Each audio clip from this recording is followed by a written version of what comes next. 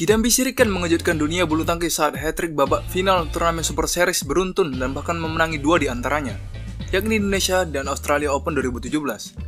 Bukan rahasia lagi jika keberhasilan Kidambi dan tunggal putra India lainnya merupakan hasil polesan tangan dingin pelatih asal Indonesia, Mulyo Handoyo. Mulyo sendiri merupakan sosok yang mampu membimbing Taufik Hidayat meraih berbagai prestasi seperti medali emas Olimpiade 2004, kejuaraan dunia 2005, dan kejuaraan Asia 2006.